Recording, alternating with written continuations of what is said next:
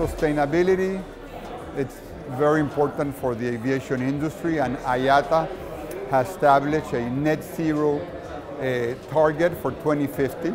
Copa Airlines uh, has endorsed that same IATA target. Uh, so we're striving towards uh, net zero emissions in 2050. Uh, however, I must say that airlines are only one piece of the aviation industry.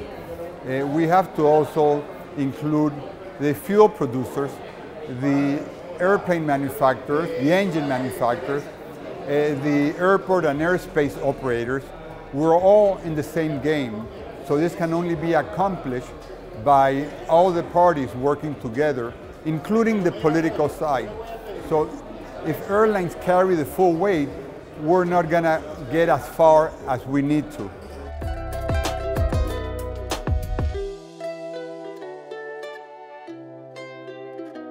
After uh, three uh, difficult years, as we know after the pandemic, uh, Copa Airlines closed 2022 at very similar revenues, in, uh, very similar levels in terms of revenues and, and passengers and capacity as 2019. Uh, this year we're already above 2019, so we're above pre-pandemic in number of flights, capacity, revenues, and we're expecting uh, for demand to remain strong in Latin America.